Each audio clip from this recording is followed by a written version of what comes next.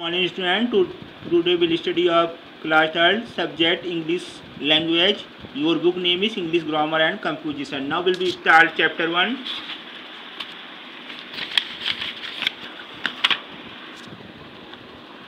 Chapter one. Chapter one title is the sentence. Letters form words and words make sentence when the words are placed in the proper order. They make sense. A group of words which makes a complete sense is called a sentence. For example, Saurabh is my friend. Saurabh is my friend. A sentence begins with a capital letter and ends with a full stop. The words used in the sentence must be in proper order.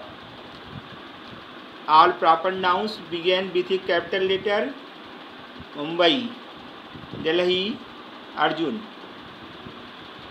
Everest and Huli. Parts of sentence. This is a figure. A sentence has two parts.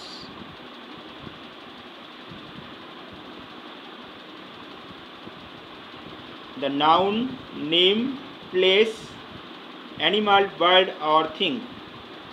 All that is said about the noun, this part of sentence contains the verb. For example, sentence divide to part 1 Arjun noun like chocolates part 2 all that is said about the noun. Noun the noun of a sentence name a person place animal bird or thing. It tells us who or what the sentence is all about. All that is said about the noun. All doing words oblique action words or verb. It may consist of a single word or number of words.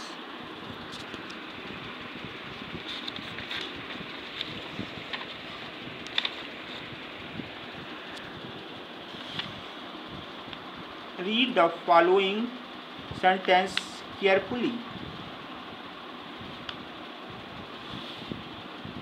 Noun Ravi birds Pranav and Suresh a dog the farmer India. Verb is a student fly. Are good friends is hungry grew potatoes in his field is my motherland. Now complete your lesson your homework is read lesson 1